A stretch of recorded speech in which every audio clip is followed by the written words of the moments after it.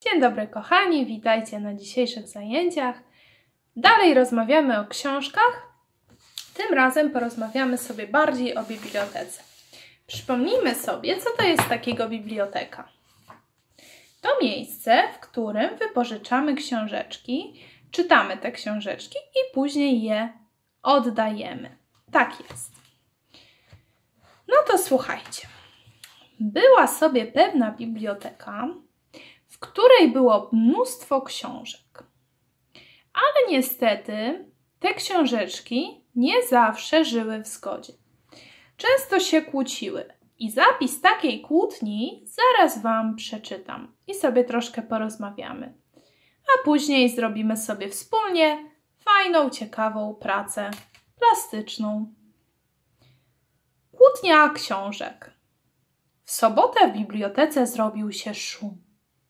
To kolorowe książki dla dzieci kłóciły się między sobą. Ja jestem najciekawsza, przechwalała się historia o piratach. Opowiadam o niesamowitych przygodach.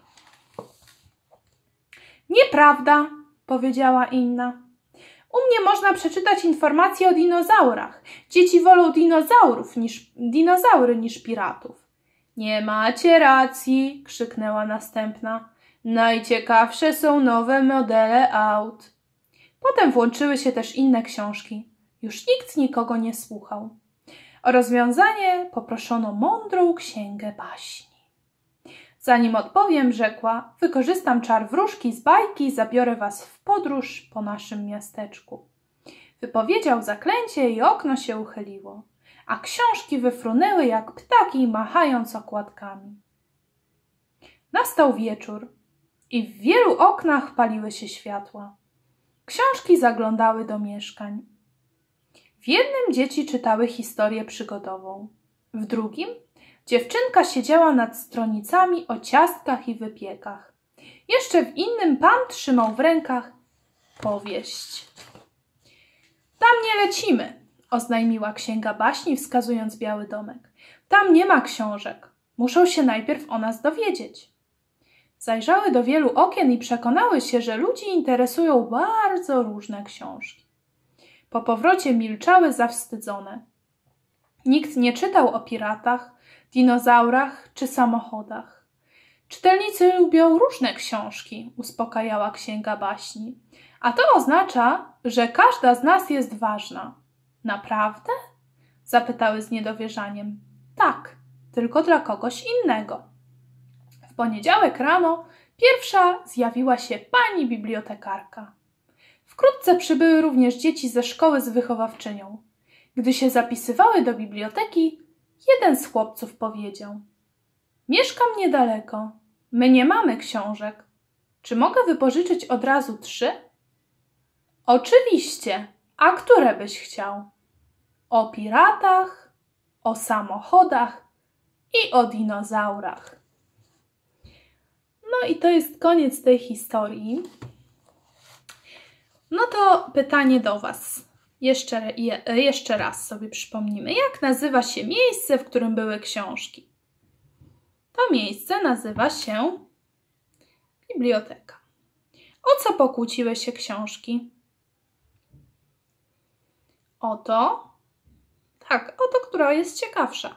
A kto pomógł rozwiązać problem książek? Pełnym zdaniem odpowiadamy. Hmm? Problem książek pomogła rozwiązać Wielka Księga Baśni. Tak jest. A co zrobiła księga z bajkami, by pogodzić książki? Tak, zabrała książki na podróż i pokazała okna, pokazała, co ludzie czytają. A powiedzcie mi, jak należy zachować się w bibliotece? My już byliśmy w bibliotece i na pewno wiecie, jak się zachować. Po pierwsze, trzeba być cicho, tak? Jeżeli chcemy o coś zapytać, to idziemy do pani bibliotekarki i pytamy. Na przykład, że chcemy jakąś książkę przeczytać o czymś i ta pani nam doradza, tak? Co robimy z książkami? Niszczymy? Nie, szanujemy tak jak własne, żeby posłużyły innym dzieciom. Dobrze. Już dawno było jakieś zadanie matematyczne, więc słuchajcie. weźcie coś do pisania i spróbujcie zapisać działanie.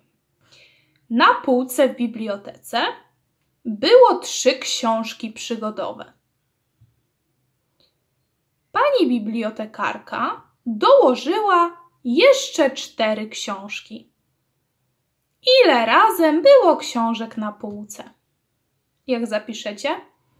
Trzy dodać, czyli plus. Cztery równa się, dwie takie kreseczki. Ile to się równa? Liczymy? Siedem. Dobrze. Kolejne zadanie. W bibliotece było osiem książek o dinozaurach. Przyszły dzieci i wypożyczyły pięć książek o dinozaurach. Ile takich książek zostało? No i zapisujemy. 8 minus, czyli minusik odjąć. 5, tak? Równa się. Mhm. Dobrze. A teraz przechodzimy do wykonania zadania. Będzie nam potrzebna kartka, może być biała, nożyczki, klej, wycinanki albo kolorowe kartki, coś do pisania, ołówek i jakieś kolorowe kredki albo farby. Dobrze, moi drodzy. Jak wiecie, najmądrzejsza książka z naszego opowiadania była to Wielka Księga Baśni. A wy już trochę baśni poznaliście w zerówce, ale na pewno znacie o wiele więcej. No to przypomnimy sobie, jakie poznaliśmy. Poznaliśmy sobie o królewnie, królewnie Śnieżce, czerwony kapturek, co jeszcze? Jasi Małgosia, trzy świnki, co jeszcze? Siedem koźlątek, a o złotej rybce? To taką złotą rybkę albo kolorową, jaką chcecie, wykonamy. No to na dużej kartce bierzemy łapkę, odrysowujemy łapkę. Wycinamy łapkę.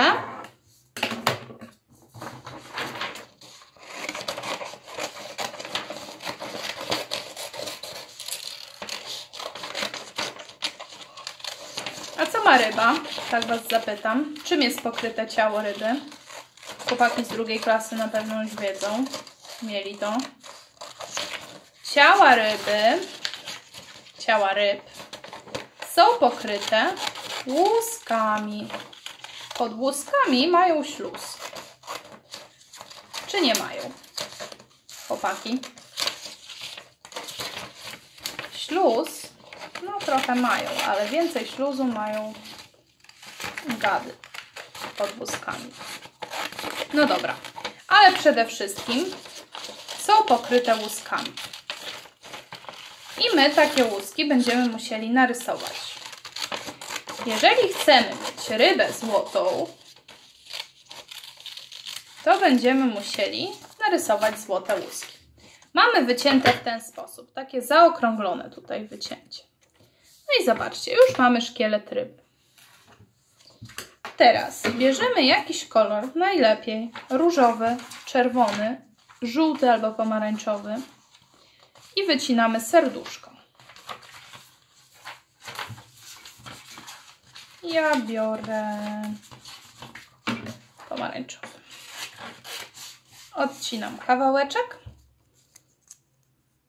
skinam na pół i wycinam małe serduszko.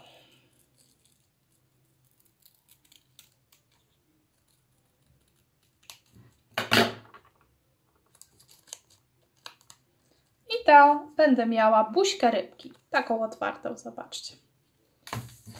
Przyklejam w ten sposób. Tylko, że to kciuk do góry będzie. Przyklejamy.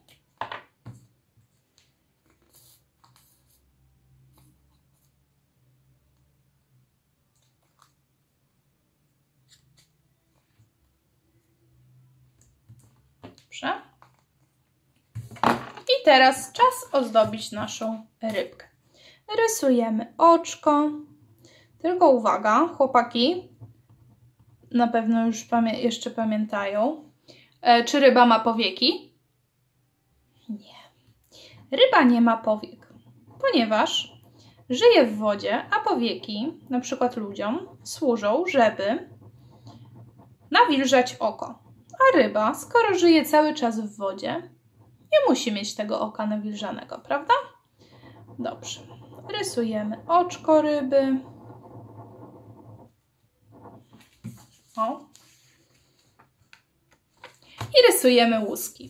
I będziecie kolorować rybę na jaki kolor chcecie. Ja już nie będę kolorować, bo to długo zajmie filmik, ale jak tutaj pokażę Wam, jak te łuski powinny wyglądać. Takie przypominające literkę U.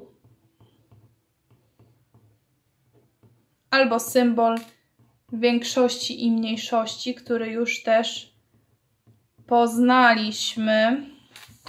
O, w ten sposób. I proszę pokolorować swoją rybkę na wybrany kolor, podpisać i wysłać zdjęcie. Trzymajcie się. Pa, pa!